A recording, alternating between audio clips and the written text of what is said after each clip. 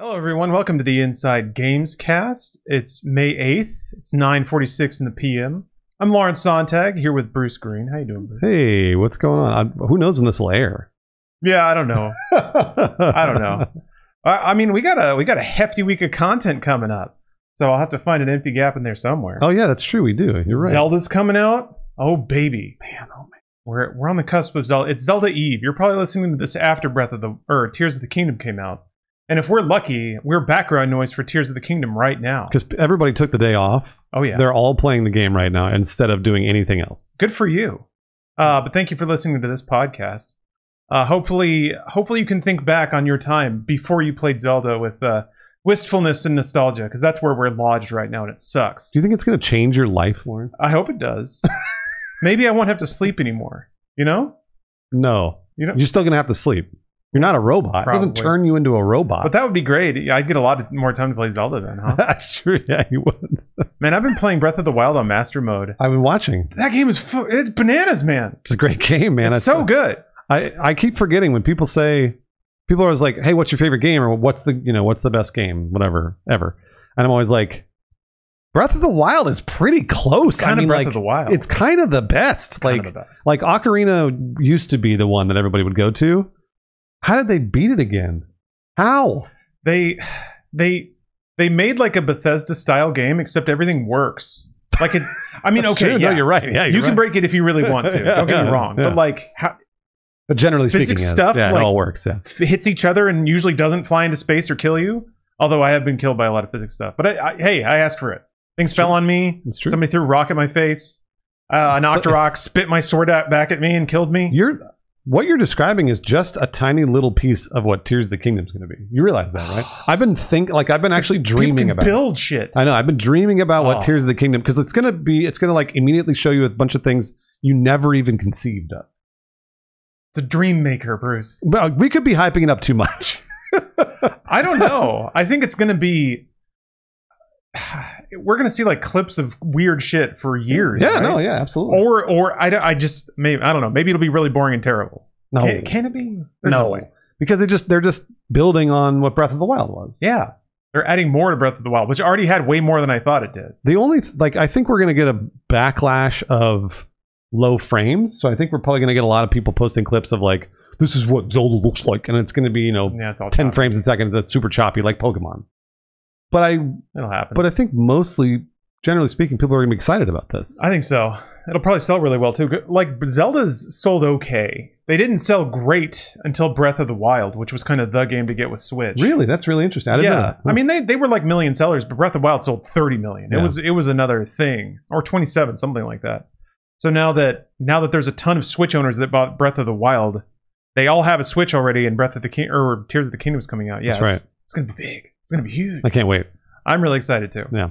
Because we'll all get to join hands and celebrate a game that's good. Well, it's like what we Right? did. It's funny cuz Lawrence, I don't Please, I don't mean to get one time. I don't mean to get political already. oh, well, that was fast. Um, but we did this with Elden Ring. yeah, that's true. Everyone got together. Everyone we all shook hands. hands. and said, "This is a good game." Good job, everyone. Gamer. Gamer. However, good, good. You and I tried to play co-op within the first Yeah. few days of Elden Ring, and co-op was broken. It's yeah, it was garbage. like it was some of the worst stuff I've ever played. It was unplayable when you played co-op, and they that was an advertised feature for Elden Yeah. Ring, but nobody said anything. Yeah. So what? Yeah. How how did that go by? Politics, Bruce. It's not fair. I've uh in a weird way, I it's it's it's warmed my heart a little bit to see like straight up pol- like capital P politics and I don't mean like representation. I mean I mean like some things are stinky and Oh, everyone yeah. makes fun of them. Yeah, Some things everyone likes so no one says anything bad about them. yeah, it's really Um, weird. that level like high school politics basically. Which is it's, it's strange because I went to video games to get away from that, Mhm. but now there's enough people in video games that It's it's popular enough. yeah, yeah. Yeah. So I'm like, oh, look at that. Video games are dumb, just like everything else. That's nice. Because we used to be able to, like, if Battlefield 4 was bad on launch, we also used to laugh at it Yeah. and go, you know what, though? We'll play it in a few weeks. Once it's fixed, we'll play it in a few weeks. Now it's just this constant explosion of rage for anything that doesn't work day one, which again, I completely want you to get a refund and stop pre ordering games. I'm going to keep saying that. But we used to just sort of laugh at it Yeah. and go, oh, well, you know, they screwed it up again. Not anymore. Yeah. It's just yeah, the tone's different. It's getting mad at stuff is a lifestyle. I guess it always was for some people, but now it seems like Well, I I think it's an it- industry. not to get too political, but I think it was. I think it was specifically like uh, with the 24 hour news cycle once that started. Mm, maybe. or like if you were watching all the different news channels, you know, CNN, Fox News, whatever, um, getting angry at that stuff, you do it all the time, and that becomes lifestyle. So maybe now it is for video games. I don't know. The same techniques apply too, which is kind of fun. Absolutely. I was uh, just randomly watching clips from a 1996 Amway promotional video. Go figure. and it's it's like the exact same rhetoric, weirdly, that's in kind of like modern political messaging. Uh, which is like there's a dream out there, people are preventing you from getting it, Oh, but all you need is all you need is your stick to itiveness and and straight up one of the dudes was like, you gotta ignore what the news media says about Amway and you gotta ignore your doubting relatives and like Really? yeah, straight up telling you to shut everything out and just just buy into this one thing. So ignore what your relatives say. Play Zelda, please. we're all gonna. I have a feeling Zelda's gonna be great. I think we're all gonna shake hands and we'll call a truce. Yeah, It'll be like uh, Christmas Christmas, Day. yeah, Christmas Day in the trenches. in World War II or World War One or whatever it was, and uh, we'll all be like, Zelda is good. I hope so. Yeah, Or we'll just quietly all be playing Zelda. That, that'd be the ideal. I can't wait. Trading tips. Speaking of dark Breath of the Wild tips, you may know this stuff, but it blew my my. I'm probably not going to know. Yeah, what is it? Did you know, Bruce? You can drop bombs while you're gliding. I think I did know that. Actually, Did you know that? Yeah, I didn't know that. Yeah, Did you know you could have both bombs out at once? I thought you could only use one of the other. I did not know that. How do you do that? Just drop one and then switch to the other, then use it. They're on separate cooldowns, so you can like throw them separately. How do you blow them both up? Same button? Oh, well, you'd have to switch, but yeah, it's like it's L to drop and then L to blow up. Yeah, So you can drop one, switch to the other, drop that, and then blow it up, switch, blow it up. Wow, So you can set up like traps. I didn't actually know two- that. Yeah. that's cool. Oh, I'm I'm doing the the Trials of the Sword on Master Mode, which is requiring like Rambo level insurgency. Uh, here's another top tip. Did you know that you can you can like dash while you're crouched? No, I did not know that. Dash while No, you're I crouched, did not know that. No, I had no idea. I don't know though why why I would ever do that. It's fast. Like if you're if you're sneaking, you can just like But does it wake people up if you dash? Ah, It, it creates a little more noise, but not much. I don't. Know. Okay. Did you know that having a shield equipped increases the noise you make while you're crawling around? I think I did know that because you Yeah. can hear, right? 'Cause Yeah, it like 'cause clanks hear around. clinks, yeah, and then it actually matters. it's. It's, I mean, Zelda. well, you No, know- that shit doesn't happen in like. sc- I guess your stealth rating goes down if you're wearing heavy armor or whatever. But don't give it credit. it like makes noise Yeah. in the game, and then the noise people hear it, and they look at you like it's just so much more natural and real. And It's because the developers of, I mean, specifically Zelda at, at Nintendo, are thinking of all the things you're thinking about. They're Hmm. saying if like, well, what happens if you're crouched and you want to go faster? Could you dash? And and somebody probably got down in the office and was like, yeah, could I? And like they do it, and it causes a little more noise. And they're like, yeah, you could do it. And it's the same with like, well, what happens if you were wearing a big heavy shield and you were trying to sneak? It would be loud, put the right? trash can lid on Toshiro. It would clink. Wow, that's loud. Yeah, and and they, were, they probably were experimenting and being like, "Well, it's loud. Put it in the game." So Jeez. that's what they do. I mean, like that's what you know the the the best game designers they they like it's I don't know how to say it. It's they've polished this like uh bespoke experience for you. That's the way I feel. I felt, I felt about playing uh, Dead Space and Dead Space remake. Hmm. To me, that just feels like it's like they like every single hallway is just like crafted with so much care. Um, that's why I love Breath of the Wild because it feels like that. But Yeah, and it's open world. Oh man, Yeah, I can't wait. yeah. Sorry, the game's already out probably when they're listening to this. So It's funny you bring up um, one last thing, maybe. uh, playing through Breath again has, has really blown me away with how the variety of techniques they use to be like, hey, there might be something over here. Like, hey, look over here. Because most games just put a big old marker there. They're like, there's something over there. just go there. Yeah. So just go there and talk to the person, and they'll give you a reward. But Brett, like Elden Ring, used a few of them actually, like little Yeah. sparkles off Yeah. of the track, or footsteps that lead off, or or just like inviting scenery, like a pathway that goes down with trees around it.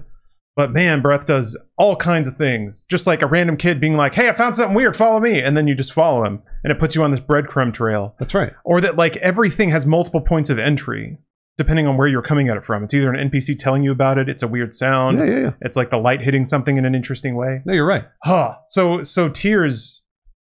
I'm I'm fascinated to death about how they've laid out the content in that because if it's just if it's a million more really clever techniques to signpost their content, or if there's just like giant dungeons. I don't know. Apparently there's supposed to be dungeons now or Whoa, bigger really? ones. I don't know. People in chat were saying it, but maybe they Maybe they had another understanding. I Hmm. meh, it could be anything. I I, just want to see all the smart ideas. I- there's going to be a ton of them. I keep thinking that they're going to like they're going to encourage you to put everything together, all the objects that you can find, put them all together. And that's the I mean like it was kind of like how I get lost cooking in Breath of the Wild where like I would cook for 4 hours or whatever.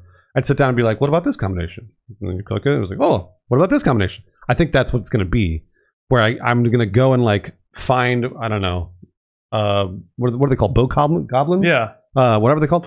I'm gonna find a horn from them and then like an eye from them, like kind of a, a relatively rare item, and be like, what happens if I put it on a bow and then I shoot it? Like, what's it gonna do? Like, I can't wait for that to just to get an item and be like, wait a minute, if I put this on my my spear, what is it gonna do? If I glue this to my raft or something? Oh my gosh! How, Yeah. can I, how how do you make? Oh man, I, I could I could go forever. Again, the game's probably already out, so everybody's already doing it. But yeah. yeah. To me, that's the magic intersection. It's a single player game where you can explore your own creativity, but there's an innate social element where once you you find something that's wild, you want to tell people about show it. people, show yeah, it. yeah. Which is why I'm really excited that this game is hitting with stream culture. Elden Ring was pretty cool in that regard too. You could see people's weird characters and builds and see somebody who's just in a land you've never seen before. But man, Tears is going to be next level. That's right. Somebody can be exactly where you are, and to some degree, this was to a breath. This was true of Breath of the Wild. But somebody can be in the exact same level you were, playing it in a totally different way, or bypassing it entirely, or just driving a giant penis directly through it. oh, it's going to be great. Yeah. Which which makes me think maybe spoilers won't be that big of a deal, really. I guess there's Yeah. going to be cutscenes and plot beats, and people. I think this is about new releases because I wonder how much of it a factor is in what we do. Oh, for streaming, right? Yeah, when Yeah. people are like, "Oh, I don't want to see that until I play it," but uh, once you get through something, gosh, the same thing could be done a million different ways. So it's almost like spoilers don't exist. Not like yeah, that. not for like big open world games. Like that's why the people. I feel like people like watching Skyrim or even new newer open world games is because you kind of like just go through them and it doesn't. The story sort of doesn't matter. I mean, Zelda's story is fun. I like I like Zelda's story, and I actually do care about it a little bit. But I'm not there for the story. It's fun and it's neat, and I, I will be like, oh, fun lore. But I won't. I'm not playing it for the story. Um, I just can't wait to you know mash a bunch of stuff together. Yeah, I'm curious. I think people will. I honestly think in this one specifically, Zelda, a lot of people are going to be like, "I don't want spoilers. I'm not going to watch streams." I think, and then like they'll give it a week or two, and then people will be playing. Um, that's what I think, but we'll see. I think that's valid. Yeah. Yeah, this this is weird because it's like it's a sequel to the Zelda that itself was kind of already story wise a sequel to a game that never really happened. Oh, Where, like- yeah, where like yeah. everyone lost, which is cool. Makes it kind of Zelda 2ish, I guess. But yeah, I don't know where it goes from here. Ganon's back, I guess. Of course, he always got to come back. Gan- Wow, he's back, and boy, did he make some dungeons. Yeah, You got to get out there and do something about that. he also looks great, Lawrence. You forgot about how sexy Ganon is. Oh yeah, he's hot now. He's got like a real body instead of just being He's daddy. uh, malice or blight or That's whatever. right. Yeah, he's he's super daddy. What is it with Nintendo, man? Suddenly they they suddenly understood that everyone wants to look at hot people, and they just put hot people in everything. You know, uh, that's true all the time of television and movies and Yeah, but they weren't hot before. I think what? When did Nintendo go horny? Was it Xenoblade? Might have been Xenoblade. Oh, I see what you're saying. yeah. But like Fire Emblem, horny as shit. Hold on. Now, now Zelda was like, I would say Zelda was attractive in Ocarina. Like as a kid playing it, I was like, she's cute.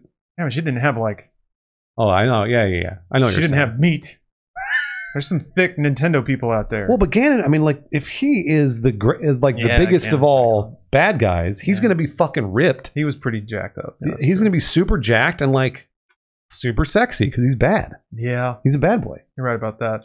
How did you? Where did you land on the fairies in 64 Zelda? They screamed a lot. They did, but it was weird. Still, like they they're pointy. and also, it was the same in Breath, where like Yeah. the fairies would go. Uh, ah! oh, So it was like, am I attracted to this or not? Like, I don't know. I, Big woman. She needs a lot of maintenance, though. You got to swipe that credit card to get them to wake up. I need to find more of those fountains, man. They're great. I've Those only got like fountains are great. Yeah. Jeez. Man, I was ah. So we're yeah we're pretty clear pretty, pretty clearly excited for Zelda, Can't wait.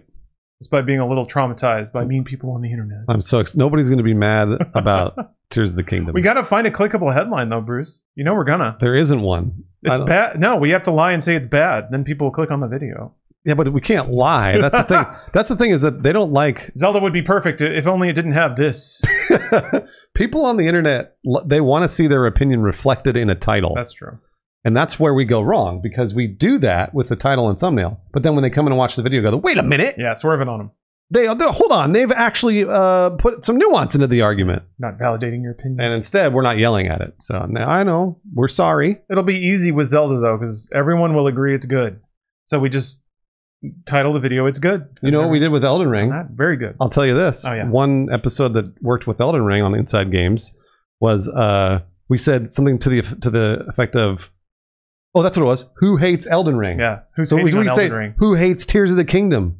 The answer is nobody. No what? But you got to watch eight minutes and one second to get there. Ka-ching! We don't ever do that. no, we don't. Uh, Lawrence, you always talk about this like we're playing a YouTube game, and we really don't ever do that. no, we don't. Well, People don't think that Like like, we, 2%. we don't ever, ever, ever try and make an episode eight minutes and one second long. Uh, We've never done that. If, if anything, we just made we an episode actually- that's 25 minutes long, just so you know. We also made a seven minute, 56, 56 minute second. oh, did we? Yeah, well, like there was one that was like two seconds Oh, under. I didn't realize that. That's why. That's why we haven't been able to uh, to double in size. I know because I saw I saw a lot of those comments on the Redfall video where they're like, "These dudes are a corporate. apo- These dudes all they're in it for the money." And I was always like, "We that are not in it for the like." I was like, "Boy, if, my if only they could see how much money YouTube was paying us That's the only possible explanation, Bruce. Money corrupts all, in it for even the games money." journalism. Jeez, oh my gosh. Who's gotten rich off games journalism? Don't say Geoff Keighley because he was rich before games journalism. That's true. I don't. Who is there? Anyone? I don't know that anyone's gotten rich off of games journalism. We're not even journalists. don't about rich. Yeah, we're not. Uh, I think the only people I can think of, like, so the the, the racket is you're in games journalism and, until you either get a job in PR or you go uh, contract. You you do like um, Like hosting and stuff. yeah, you can do that. Uh, I feel like more people do mock reviews and stuff. Well, not more. I really have no idea how many. I'm just thinking about that that uh, Phil Spencer comment about Redfall mock reviews. Uh, that's what we need to get into, Bruce. We need to start writing mock reviews. Oh, do they I- have actual journalists write those mock reviews? Yeah. for them? I didn't know that. Yeah, they don't publish them, so nobody knows it happens. But yeah. That's uh, Wow, that's how it, that's how you get that real money, um, that corporate cash. that's really interesting. I didn't know that. yeah, I've never gotten into that racket. I don't know how. I want to. I don't. I, I don't think I've ever even known anybody that's done that. That's that's why I'm actually surprised. I've heard like link like friends of friends that are involved with that game. okay. So maybe I should hit him up. Do you want to? Do you want to review games, Bruce? You want to do For focus tests and stuff? Microsoft, Yeah. they're gonna. So wait, uh, do they pay me like a lot of money if it's good? oh, I have no idea. They, I mean, they pay. I guess they pay you a, whatever rate just for the review to give them some idea about how real games journalists will receive it. And then maybe if I go like, if I go, hey Phil, like, hey, how about maybe uh, I'll bring up that percentage, a uh, couple percentage points, you give me an extra two thousand bucks.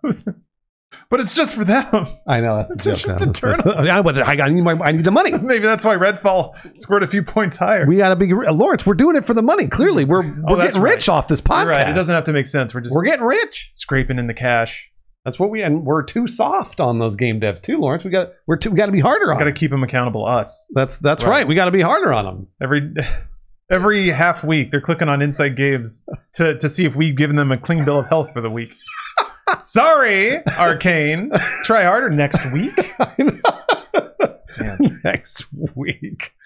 Oh man, video games are awesome, dude. yeah, they are. They're great. Oh, speaking of, I got to go to a preview event. This is something I want to do a little bit more because I'm, I'm feeling like I'm cooped up a little bit, staying too, staying home and gaming a little too much. I got to go other places and play video games Oh, there. gonna gaming too much, Yeah, Lawrence. What? I took my Steam Deck so I could play on the plane. Oh, good. Uh, but I went to Capcom's offices in San Francisco and played Street Fighter Six. Sick. Yeah, Sick. I didn't get to stay the whole time, so I didn't get to like really dive into all the stuff they had to show. So apologies about that. No, you're wearing a shirt too. Yeah, that was a kind of an accident, but I'll own it. I didn't wear this there, if that helps. That's good. You shouldn't ever wear the band shirt to the band. No, I know that much. Never do that. Uh, Street Fighter Six is pretty rad. Again, characters hot as hell. Super hot. The Capcom's- hottest. Capcom's on something, man. I don't No, th- that's I'm telling you, that's a, that's not. They're not on anything. That's what you're supposed to do. make video game characters hot across the board. yeah, you're right. It's again television, movies. What are we talking about? You're right. Everybody should be hot. Make them hot. Well, they got the message. Everyone's hot. Uh, I guess a couple of the things that really stood out to me that I really like are some of the some of the onboarding tools for newer players. That's me Yeah. because I would never play this game otherwise. So convince me how to play it. Ooh. Okay. Because I don't want to get anywhere near online play. I might play the campaign. Okay. Because I enjoy the campaign usually in fighting games, but I'll never touch online. So Hmm. unless you convince me otherwise. Well, I don't know about convincing you to play online, Oh, okay. but perhaps I can convince you that Street Fighter 6 has an array of tools to make you a better Street Fighter player if that's what you choose to be. I mean, I would like to be all right at a fighting game for once because I never, I never have been. Well, uh, one of the things I think is super cool about it then is, uh, I mean, it has your basic tutorial that walks you through the absolute fundamentals of Street Fighter, but each character has a player guide where they kind of explain to you in just words the phil- philosophy behind a character. This is what they're good at. These are the ranges you want to stay at. And then they even walk through all of their basic moves and special moves and kind of tell you all of the circumstances they'd be useful. Then they have even little demos saying like you can put this here and here, and when somebody jumps at you, you blow them up, or you just uh, do a feint to make them think you're going to do it, and then follow up with something like this. So I thought that was super cool. Cool. I always thought it was a bit odd that sort of you kind of have to read the tea leaves of a character's moveset or play with them for a while to figure out what kind of character they are. Sometimes those hints are baked into the design of a character. You know, he's big, He's big, slow. right, he's slow, yeah. might be a grappler. But uh, now they just have a whole thing just saying like, this is what this character does. Try doing these things, and this is the way we figure you should play. So That's that's, cool. cool. And then they have a combo guide and stuff, so you can like run through all the moves and stuff. But yeah, the player guide really really captured me. So I think that's awesome. And then yeah, hopefully an open world mode or a single player mode will get you more familiar with the controls so that you feel like going online and just getting brutalized by some four year old that's just rolling their hand across their controller. I have the worst memories of playing. Actually, I'm sorry, the best memories of playing these. uh, playing fighting games with my friends because that's what it was. One of my there was this. Actually, I think you've all you've met one of them. I'm not going to say the name. I'll tell you afterwards. But you met one of them, and we used, there was this uh, like honestly, it was this historical, legendary rivalry between these two people because we would play. Obviously, we'd sit down and play video games, and this happened every weekend or whatever. Whenever we get together over years. I mean, we're talking like ten years of time, and every time, let's call him, let's call him A and N. All right, A and N would get together, and we would play whatever Soulcalibur. It didn't matter. Killer Instinct, um, and N fancied himself a fighting game, not aficionado, but like somebody who's pretty good at a fighting game, right? Okay, kind of like alright. you. I would assume you're pretty good at Street Fighter. Yeah, right. Oh yeah, yeah, yeah. But I mean, but but N would say no. Like I've been I've been practicing. I play. I would play at home, and like he I he would he, and so then he'd sit down with A, and A was like, I've never played this game before, and and and they would hand, we'd hand them a controller, and then they would they would play, and A would always beat N, always every time, and uh, and we'd all laugh because he would button mash. He would just sit there and do this, right? He'd literally just take a controller and squeeze it, and he would win. And N would always be like, like, like, like he. And I understand, by the way, I don't fault him at all. I com- completely get it that this dude who was practicing this fighting game could not beat somebody who would just do this. Um, so we call him a professional button masher because that's what he was. He was a professional button. Could I get through Street Fighter as a professional button masher? Is that a possibility? Ooh, probably not. The- Okay. Well, if you're All playing other button mashers, yes. But one of the cooler things I think about Street Fighter 6 is that there's like a there's a really basic rock paper scissors baked into the core fighting mechanic. Okay. So if you're just throwing out attacks willy nilly, there's there's uh, can't remember the specific name for it, but essentially you go "Wah," you go "Wah," and you like charge up, and it gives you armor for two hits, and then you just bash the fuck out of somebody. That's cool. So if you're sitting there, if somebody's just like blah blah blah blah, blah just hitting buttons, you do that, you're gonna hit them Right. through that hit. Huh. The counter is if you do that after they do. So you go bruh, and you start charging up, then you do your thing later, brarp. They hit you, your armor absorbs it, and then you bash the fuck out of them. Oh, interesting. So essentially, yeah, if somebody's just mashing buttons at you, there's one move that you hit two buttons that's a fundamental counter to what they're doing okay. but they can catch on, wait for you to do it, and then like bait it out and then hit you, and that kind of kicks off the cycle. Also, throws are kind of the the third rock paper scissors aspect there. Right. Uh, you can throw somebody out of the startup to the charge, um, or a bunch of other things if they're just turtling and blocking and stuff. So if you understand the super basics, then if somebody's just trying to roll buttons on you, yeah, you could theoretically shut them down. Oh, okay. All right. just by hitting buttons over and over again. It just depends on the different buttons. So that's another cool part of six is it does seem like there's a lot of they tried to bake some rules into the basic layer of the game that everyone can pick up and have fun with, Mhm. but then can be used by master level 9000 IQ chess players as like a mental game with the other player. Cool. So right. maybe if you can get get your homies back together on six, That would be uh boy oh boy. What a what a I should put that I should actually make the tournament for them. that would be so Like cool. put, them, put basically put them against each other on a bunch of different fighting games and see if they've progressed. Because I'm positive A has not played any of those games over the over the last few years. Maybe N has. N you know. Oh, I hope so. Maybe N has, but I don't think A has. I'm pretty sure A has not. Trying to keep sharp. Uh, yeah, he was Yeah, just so good at button mashing. We, we and, and honestly, we didn't know how he was so good either. it would just be like because he'd just be Just like taking your know. breath away. I don't know what I'm doing. I mean, he, there were times he would do that. He would look away and beat him.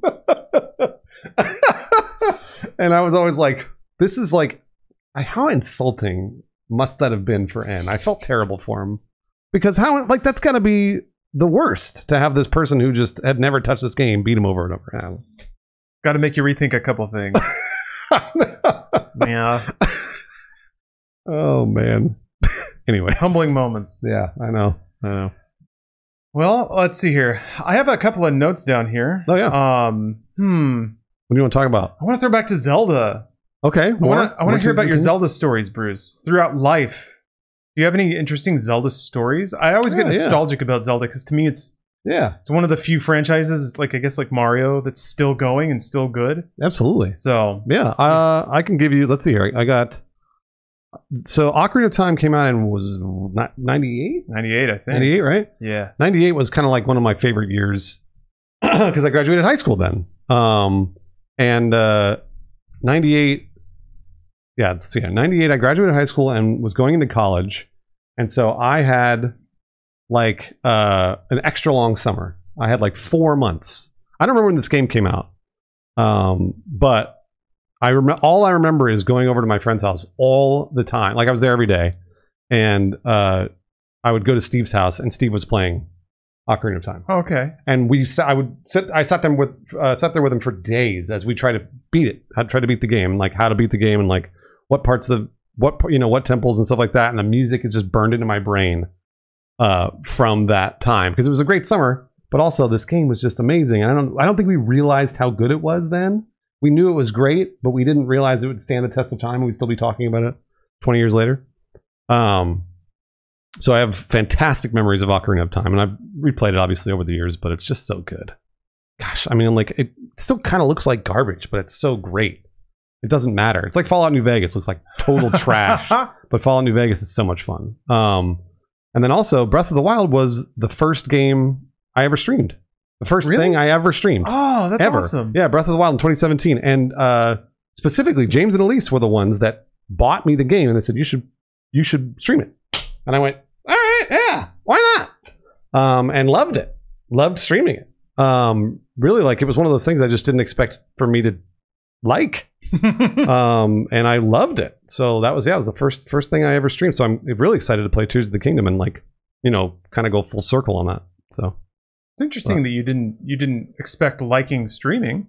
I But, uh, didn't no. Just, just the why didn't it appeal to you, or what about it surprised you? I think probably because there's this is actually a really interesting thing that I have seen a lot in criticisms of streaming, especially my streaming and or our streaming coming from Funhaus, which was everyone's like, you know, like they're always like, this is not an edited video. I don't like it. It's boring. And uh, I understand that point of view because when I first started streaming, I was like, why would this be entertaining? I can't figure it out. I was so Hmm. so into the YouTube mindset that I had Mhm. not pulled myself away from it and tried to do the longer uh, longer form content. So to me, when I first started, I, I just like I loved playing the game because it was great, but I didn't expect to interact with chat and have chat like it. Um, I thought I was like maybe I'll, I'll probably be bad at it. It seems really boring. People are gonna you know get tired of it after a while. You knew better because you had been streaming for years at that point.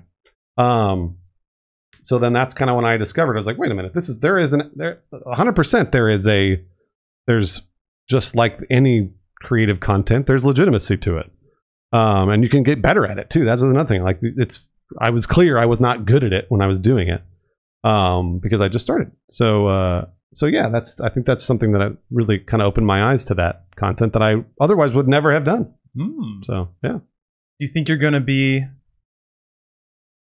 This is something I've wondered about Okay. because I agree that that it, like streaming or hosting a stream is a skill that can improve over time. absolutely. Do you think in 20 years you're going to be like next level at it? Are you going to be Johnny Carson I don't know. territory? I'm not sure that. I don't know what that looks like, Nick. Nobody's done it that long, right? It's impossible. No, yeah, you're right. Yeah, technology hasn't been there. You're correct. I Nobody's. guess radio show hosts are the closest that I. I mean, I, I did that for years. I was a I was a DJ for years. But I mean, but as a DJ, you're only listening to things, and even then, you're just staring at a wall. That's I just remember I just like stare out a window and and DJ. Uh, and also, by the way, as a DJ, you very rarely talk for any longer than like five minutes, even in a morning show. Uh, if you're a podcaster, it's completely different. But um, yeah, I, I'm I would assume I'm going to get better at it, but I don't know what I will get better at specifically skill wise because I know this is going to. I'm sure I'm going to get some angry comments about this, but I know that I'm better at video games now than when I started. Oh well, Positive. how could how could it be any other way? I'm positive that I'm better at video games. There's no way you got worse playing video games all day, right? I mean, I hope not. How would that even be possible? Yeah, but I know that I am better at doing things in video games because I didn't play video games all the time before. I would play them, you know, an hour or two a week or something, or maybe some Overwatch, whatever. Mm. But now I'm playing every genre for hours at a time. So, what do you? How do you think that skill manifests? Um, you mean like in other parts of life, or Well, just how do you think general video game skill increasing? How do you think that that like presents itself? How do you, how do you see your skill improving? well, I I become Lawrence, so Oh. I see the code I see. Okay. because now I can go like, oh well, there's this like there's this cube here. Like I know that I'm gonna have to move the cube and probably move it to certain certain spots where I need to climb. Versus before, well, maybe I walk into a room and see the cube and it sort of just gla- just glaze right over. Um, and now I'm starting to see the code like our own Lawrence Sonntag. I see. where Yeah. you know what part of this is going to be a video game, right? You know what you're going to interact with. It's uh, a good a good example of it is. Did you ever watch? This is I think for old cartoons, but did you ever watch like an old cartoon and you would see obviously the character would be moving, and then the background would be flat. However, if you looked, you could see parts of the background that you knew would move if they were trying to hide things, because you could see that it was animated. But you're like, well, I know that's going to move. You're just waiting for it because you'd see watch cartoons so much. Um, that's kind of what it's like. oh, okay. I Yeah. gotcha. Yeah, yeah, Yeah, you're starting to see behind the veil a little bit. yeah, which is great because it's all made by humans. So. Yeah, it's Mm-hmm. it's funny you bring that up because a lot of people. I remember even back at Machinima, uh, on the on the written side of Inside Gaming, talking about some of that stuff, and people looked at me like I was weird because I was talking about game design, yeah, and I was like, "What do you, you guys not think about like how games are made or the way that content's presented to like make you look at it?" And I remember one of the members on staff was like, "Dude, no, that ruined. Like, I don't want to do that. It, the games are magical. Why would you want to ruin that?"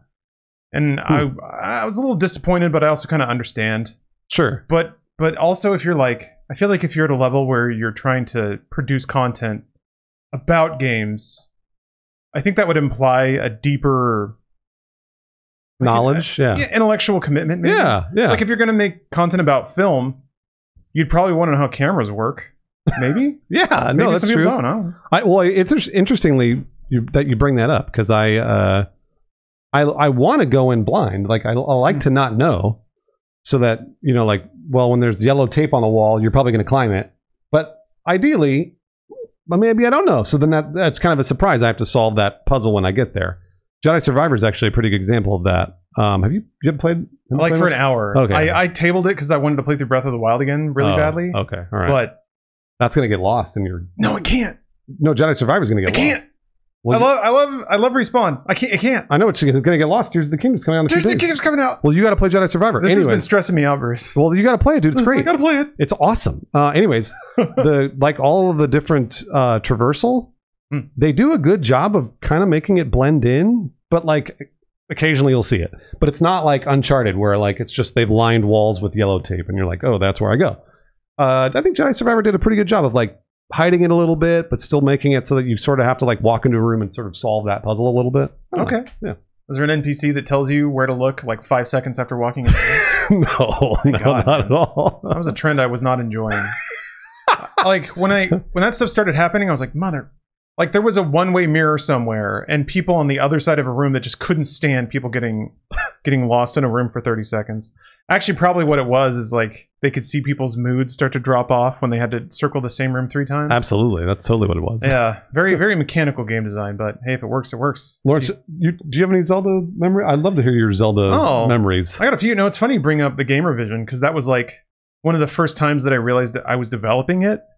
Um, my sister was playing Ocarina of Time, I think, and uh, and she was stuck. She was like, "I need a small key, but I don't know where it is." I was like, "Oh, just pull up the map." And she like scrolled through a few floors, and I was like, "It's in that room." And and it's because it was away from other things that had ch- treasure in them, and it was kind of big, and there wasn't a chest in it yet that she had opened. Mhm. So she's like, "How the how did you know that?" So she went over there, and like there was a puzzle in there she didn't do. There was a key. I was just like, "Oh, it's just you know, it's kind of logic." They tend to spread out the objectives you need to make you go to all the corners of the dungeon. That was a very obvious room that didn't have anything that you had done in it. So Mhm, mhm. and it made me think about that moment because it seemed obvious to me but it you know that was like i could see see the experience through her eyes and and like okay somebody hasn't played this game before for one but also well, you'd already played the game. well yeah but i didn't remember that one it was like a couple of years after Oh, okay, all out right. yeah, but yeah. like i just cleared the dungeon i'm just waiting for her are you lost? Are you lost? Well actually i was younger so it might have been that bad. But there was that and then i remember one of my earliest memories of zelda was renting it. But that was like i was so young that i didn't have all my like my logic hadn't really clicked into place yeah, yet. yeah. but that's actually a pretty magical time to play zelda. Maybe not zelda 1 because that game is scary to a, for, for me as a child it was anyway. Hmm.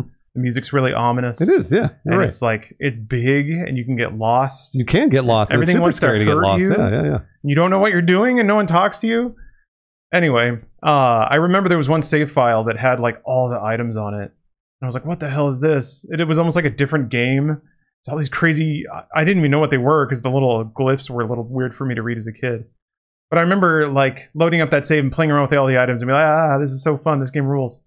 Uh, and then I remember for some reason, like going to the options to delete the file and then my brain was like, "What are you doing? Don't hit these buttons. You want this here." And then I was like, "Doot doot," and deleted the deleted the save. Oh no. And the entire time, my brain was like, "You need to stop that."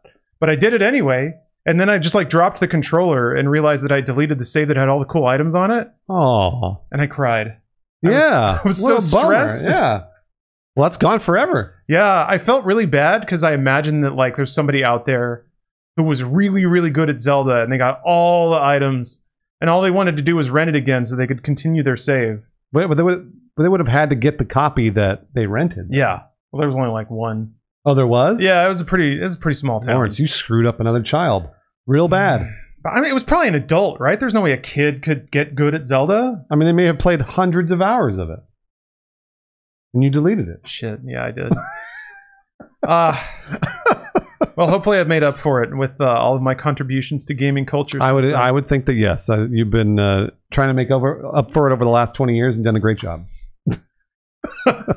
Some someday, someday I'll feel the same. Until then, it's more cold sweats and night terrors. Jeez. Oh, that sucks. I I remember pretty explicitly the overwhelming sensation of playing video games before your like perceptions had really sharped in. Yeah. Like when you could just get really synaptically lost in a game. Well, it's that's what I was just talking about before, where it's like you play so much. Actually, it- something whenever I play games with you and they're horror games, it's hard for you to get scared at them because you know that they're a video game.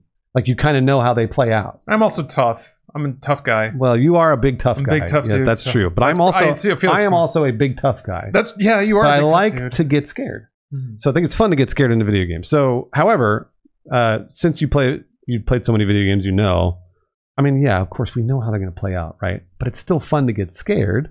So you sort of have to suspend your disbelief or suspend your video game logic a little bit and be like, I'm I'm walking through a haunted house right now. I'm not actually, uh, you know, like I don't know that the ghost is going to spawn over there and like you know it'll blink in and out toward me and like it, none of that shit. Just throw that all away and hope that you get scared because if you think about it as a video game, you won't get scared and it won't be fun. Um, that's kind of why I was I was thinking about that with horror games because horror games is a good example of like if you don't if you don't have that video game logic baked into your brain, you will you'll have a blast. You'll have so much fun. Um, but if you're like Lawrence, you may not have as much fun because you know that it's a video game. So I just like I don't know. There there aren't a ton of good video or horror video games. I mean, recently there's a like there's a, a couple of like obviously Phasmophobia is really that's Yeah. a great video game. Phasmophobia is superb. um, it and like um. Mortuary's Assistant. Did you play that? I haven't played that yet. Really good. Oh, I really wanted to play that. It's really well uh, constructed, and again, it's a video game, but but it's super fun.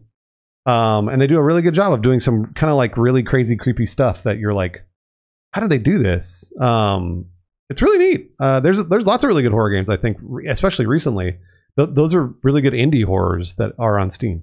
So I'm into it. yeah, yeah. But it's too tough, Bruce. Too tough for this I know world. you're a big tough guy. It's Just hard like me. there. You're a big tough guy, and I, you don't get. We're both big tough guys. That's what I say. I say over and over. I don't get scared of anything. Um, true. but it's really fun to get scared in a horror game. It really is. Speaking of scary, Bruce, Uh oh, I thought this was kind of funny. I this is scary. I enjoyed tracking this stuff because to me it's more interesting how people react to stuff than the thing itself. But yeah, Resident Evil 4 added this thing where you can just buy weapon upgrades. yeah, So it's pay to win. I mean, there was a they actually did that a little bit before. There was like a treasure map you could buy that would give you additional treasure to make it easier to buy upgrades. Yeah. Now you can just buy upgrades. And if news of this came out before the game came out, oh, people would be flipping their shit. they'd be so mad. But it came out, it's really good, and they added it a couple of weeks after. So is this? But is this for PvP? No, There's well, no, there's no PvP. that's what I thought. Yeah, it's for PVE. Huh.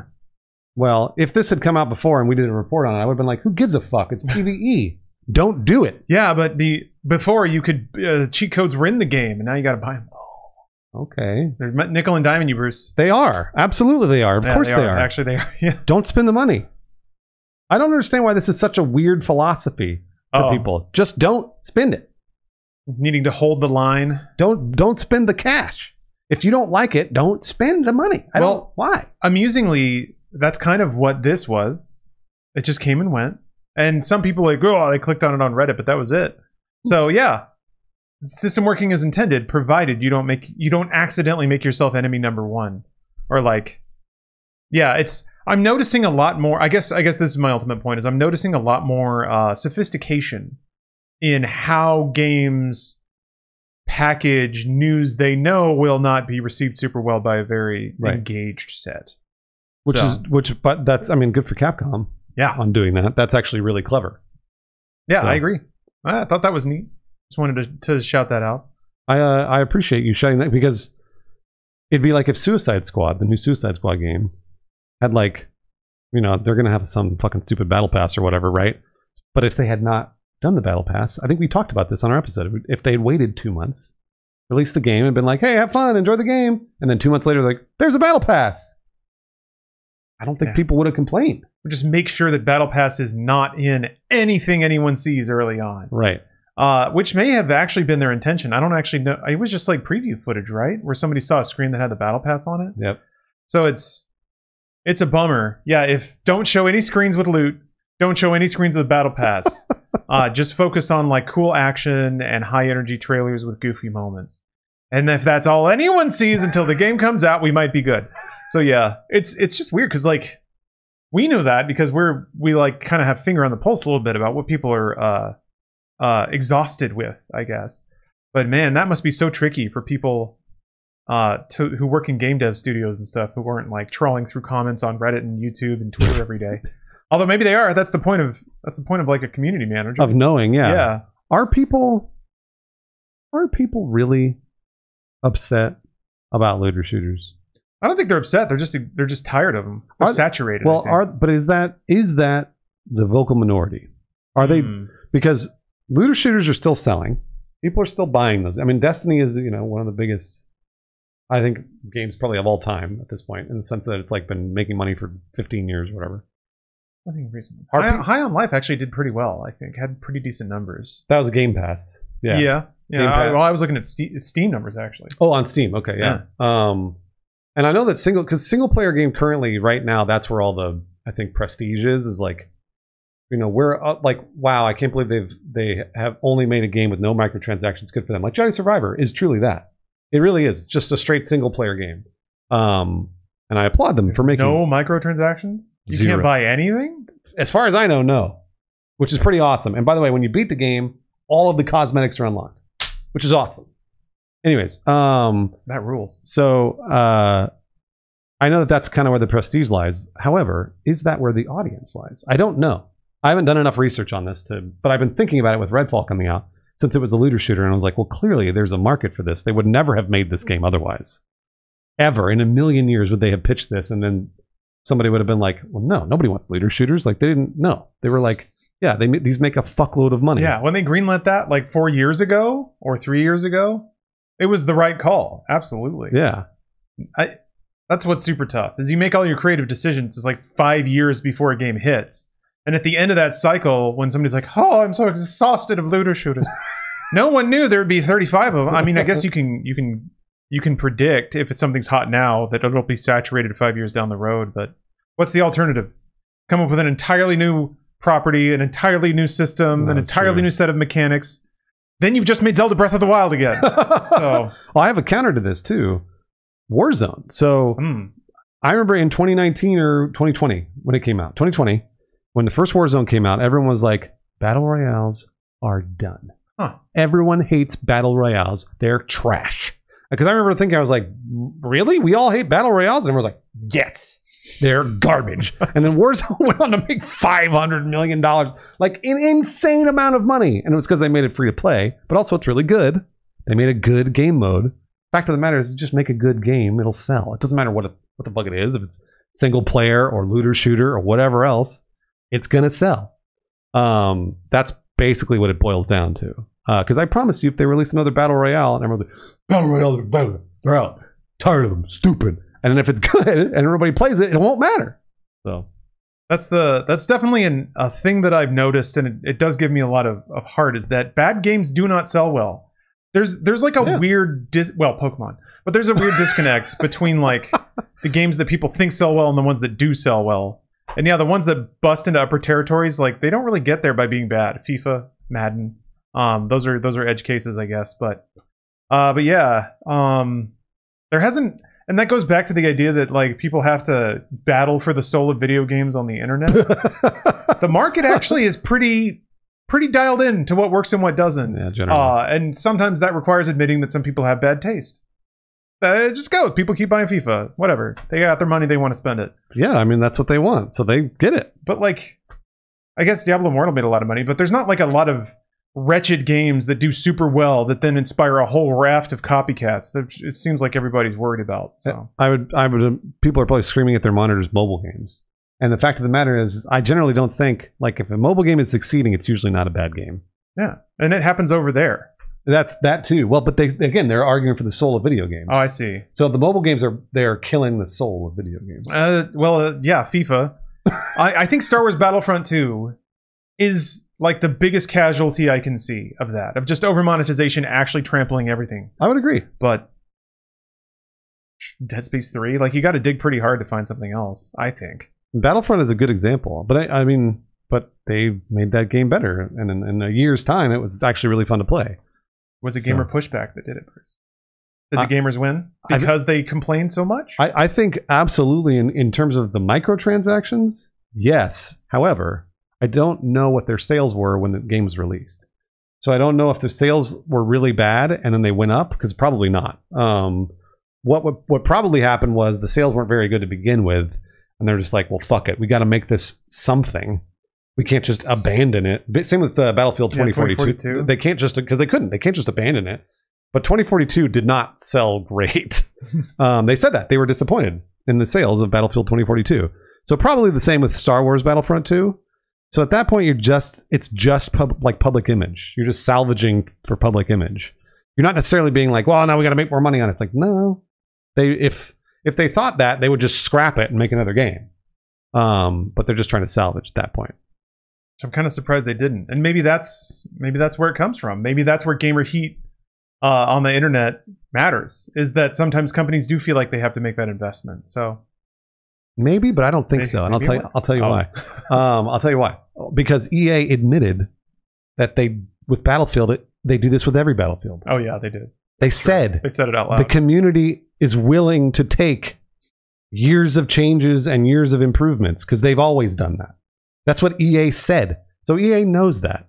So they know when they release a game that's not perfect, they know they're going to get heat. They don't give a fuck, right? They don't because yeah. they've al- they've been doing it for years. So it's like they know, and they EA uh, again to their credit, I guess. Whatever they were like, uh, we've been doing this with Battlefield for years. You know, normally the community is willing to do this. This time around, I guess they weren't.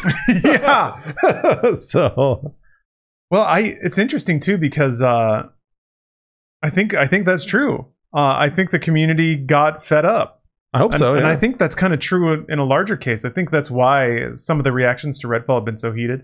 On top of it being fun to laugh at, I'm not stupid. I get it, but uh, but yeah, I it's you know it's weird. What's There's weird? more games than ever, and yet s- still there's a perception that games are getting worse. Yeah, that's true. and I think, Hmm. and I do think it's because it's just a volume thing. Uh, and I kind of kind of laid out that the theory on Inside Games, but if you're looking for the bad stuff, or I think more specifically, if there's a series of systems that encourage and elevate the highlighting of the bad stuff, Hmm. you know, so YouTube compilations and, and Reddit posts and stuff Right. that all make something seem so terrible. If that's what gets shoved in front of your face, it's only natural that your perception would be that everything's getting shitty and bad. And then that gets you in a bad mood, and then you go and type a comment. Somebody else sees that, it goes on and on. So maybe maybe that's it. I just can't find. Man, if Redfall's bad, I'm like, all right, on to the next one. I- I, got, I, got a it- backlog, man. I've seen it described. This is uh, Lawrence. I was told that we were out of touch many times in the Mm. comments. Yeah, which Um, I'll tell you why. Kind of good, actually. I'll tell you why. it's true. I'll tell you why we were out of touch. Because, like you said, well, Redfall's bad. On to the next one. Everyone was like, I have been saving for six months, and I spent seventy dollars on Redfall. I challenge you to find one person that did this, by the way. But I saw this in the comments. I, I've saved for six months. I spent my seventy dollars on Redfall, and it's bad. And I wasted my seventy dollars. Number one, I don't know anybody that's ever done that. Find me one example. Also, if you save for six months, wouldn't you watch a stream for like 10 minutes before you buy the game? Those are free. Absolutely, yes. Streams are free. Maybe you don't have internet. But also, you get a refund in, tw- in two hours. You get a, you get a fucking refund. If I saved for six months for seventy dollars and was like, "This is the one game I want," Redfall. Also, were you stupid enough to buy it on Steam after you saved for six months for seventy dollars when you never noticed it was on Game Pass? Are you kidding? Don't bullshit me. So I have many things that I can throw at you, but I saw that Bruce and Lawrence are out of touch. People can only buy two games a year. that also means you're you got 11 bucks a month that you're clearing. You can afford Game Pass on that. you could have had game. You could have had Game Pass for six months and Redfall at the end. I know. people, again, people, they say Lawrence and Bruce, they get video games for free. Uh, even though I spent $70 on Jedi And Survivor. sometimes, yeah, I'm, And- I'm and- trying and to I have- up the email accounts. I want these free games. I was saying, and I have a Game Pass subscription. Um, but they say Lawrence and Bruce get these games for free. We can only buy two games a year. I get that. So I bought Redfall. No one, no one did that. Don't lie to me. Don't you dare lie to me and say that someone won. a week before Tears of the No one fucking did that and didn't watch any streams, read any reviews, didn't get a refund, and didn't buy it on Game Pass. That's bullshit. caveat emptor, my man. That's bullshit. Was the system working as intended? yeah, there's Anyways, that's sometimes it's like like the sentiment has to be that it it shouldn't be allowable that somebody can make a bad decision with their money. that happens all the fucking time. Yeah, it, it should happen sometimes. Like the point of the market is not to make every every product as good as it can be for as little money. Like that seems to be what some people think should be the guiding principle, but my god no. Uh, here, hold on. Yes, everyone thinks that right now. So, Lawrence, what you're saying is that video games Pro consumers. should be the best they are at launch, and and ten dollars, and we should be lobbying for that every release. Mhm. It'll never happen. Better, cheaper, It'll never ever happen in my lifetime or yours. It'll never happen unless we turn socialist. Just so you know. But that's what we are lobbying for. That's what we're arguing for the soul of video games so that they're all free and the best they ever were. I don't know who's getting paid for the labor, but hopefully nobody. but regardless, Us, that's what we're supposed to be doing. We're doing the real work. you and I are, but we're supposed to be lobbying for games to be cheaper, better, and perfect or something. I don't know. I'm not sure. That's that's that's the out of touch thing. Is that um and it goes kind of back to the the, the video games are human now. Is that there's a, like there's an agreed upon line that everybody decides is is the right thing.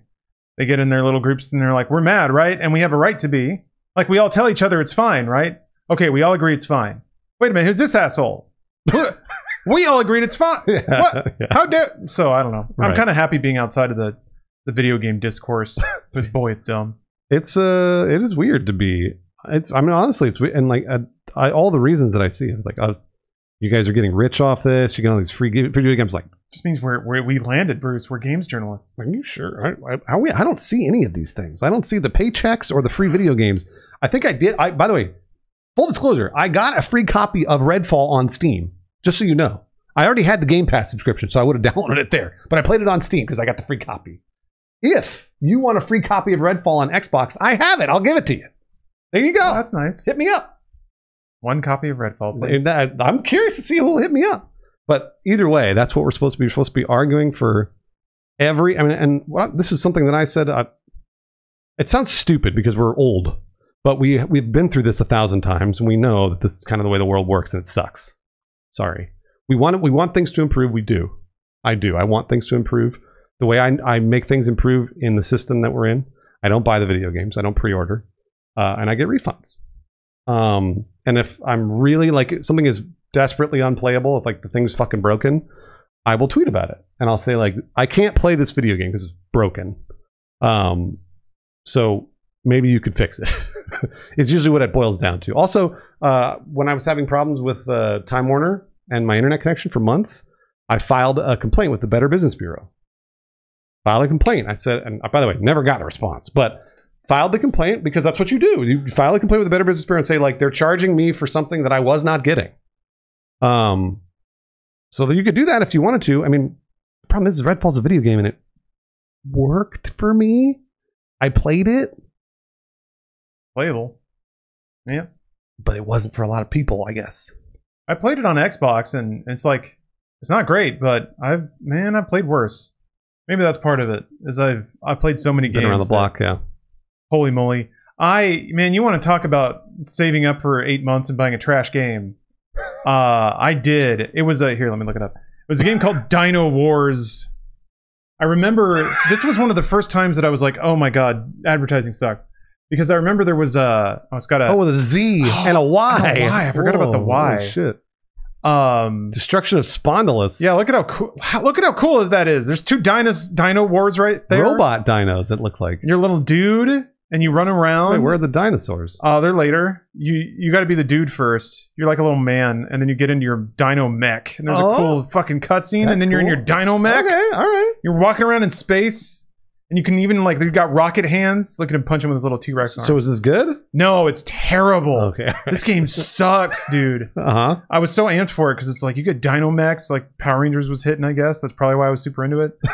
um, and the fact that it's like got on Oh. foot gameplay and mech Dino Mech. Oh, look at him punch that hand out. Did you learn a lesson? I did. What was yeah. the lesson? Uh, that that just because a game looks cool in like a video doesn't mean it's good to play. Mm, But uh, yeah, they got me. They got me that one. and you didn't get a refund because you couldn't. Fuck no. No, I I would not even be allowed to express my disappointment because my parent, like my dad, would yell at me for being ungrateful. Let me ask you this: uh, Did you get it on a subscription service like Game Pass? No, God, no. Oh, no. that's, that's great because it didn't exist. It right? was like one of the two Christmas presents I got because Yeah, I that's asked for it specifically, and my parents, God bless them, bought it new. That's right because it didn't exist. There was no No. Game Pass. There was no refund. No, There was no digital refund. You couldn't do No. that shit. You had to go to a store, yeah, the refund is selling it to the video rental store that had one copy of Zelda. and and they never ever. By the way, they never took video games like that ever. So like, if I was like, uh, brought in an open video game, it was like this is bad. They'd be like, fuck you. Get out. But this is, you know, this is uh, uphill both ways through the snow talk. So. It is, but but I mean, it's one of those things where like we can see the improvements, so we're sort of like, hey, things are getting a little better. Yeah, I guess it's mostly just a pushback to to the notion that things are getting worse and you have to take action now before everything goes downhill forever, which is again part of the Amway messaging. Take action. we want you to take action. Get a refund. Don't pre-order. Uh, you know, Spend money on a good game. fi- spend money on Every a good game. Every time game. you're going to get mad, spend money on a good game that you like. file a complaint with the Better Business Bureau. And do that. Do that. Class Do it. action suits. Yeah. Some of them sue. work. Sue. Why not? Some of them work. Go hire a lawyer. Yeah. I'm totally fine with that. It's uh that's that's one of the subtexts and and we need to wrap up because we're uh, we're about on time. Yeah, yeah. One of the subtexts that I see that I kind of understand is that feeling of powerlessness when you get when you get fucked or like you there's It a game that you don't like, It sucks. but you can't change you can't change the world. You can't rewrite uni- the universe and make Redfall Prey 2, even though God I wish. Uh maybe maybe someday. Maybe someday, but you can't. You're right, Lawrence. You can't. Once Redfall's out, it's out. How could this game be bad? I don't know. You played it. Yeah, it's, I'm trying to remember. It seems good, right? It does seem. I mean, as good as any Any other Nintendo game, game yeah. was. Yeah. You're running, you're shooting, you got a gun. What's there to what's there to not like? I think it's bad though. Don't play Dynowarz. That's that's your Inside Gamescast challenge of the month. get, through May without playing Dynowarz. The, what was it called? Destruction of Spondylus. How do you remember that? I don't know. Destruction of Spondylus. Yeah, you got gamer brain now, Bruce. It's in there. Destruction of Spond. Don't play that. Spondylus. There was a password though. You could look it up and like maybe get a cheat, and maybe it would be more fun if you got the cheats. Spond- That's what I used to think about bad games. There's an ice world? Oh, you never got that far. No, no way. How far did I go? Look at the walkthrough's only 33 minutes. Yeah. Also, in the best case scenario, you just bought an, a NES game for eighty fucking or for fifty eighties dollars Again, Lawrence, look, we're improving. The world's improving. and it lasts thirty minutes You're totally right. if it's good. you're, totally, you're totally right, Lawrence, that this is uphill both ways. So we are getting better. Things are getting better. Can we can get refunds now. There's Game Pass, etc. Mhm. Um, so utilize the tools at your disposal to make sure they know that Redfall is bad. Screaming about it on Reddit, te- uh, making fun of my tank top, That's a tool. Yeah, don't make fun of Bruce's tank making top. fun of my personal appearance, making fun of Lawrence's personal appearance, which I saw Wait, people made fun of my appearance. absolutely. Oh, come which on. I saw multiple. You can make fun of Bruce, but you made you made fun of me. which I saw multiple times in our comments. It's not changing a thing. Man, I just didn't look. You know what? It really it reminded me of the old days a little bit. It reminded me of 2013 YouTube. You know what I did was I went through really quick to end the podcast uh, as my daily therapy. I went through and shadow banned a bunch of those people. oh yeah. Just got rid of them, so I'll never see them again. Thanks for the views, though. and thanks for the view on this. I hope you cleared that dungeon or got a Korok seed or whatever the heck you were working on. Hopefully, your giant, like, mobile clam mobile. It looks like a vagina Oh, yeah, yeah. for sure. They Pulsing. made they made a vagina. Can yeah. you make. Hopefully, you can make things pulse, like vibrate. Sure, you can. Surely, you can. Why not? Yeah. All right. Until next month, thank you, everyone. Thank you, all Inside Games viewers. You're the real gamers out there.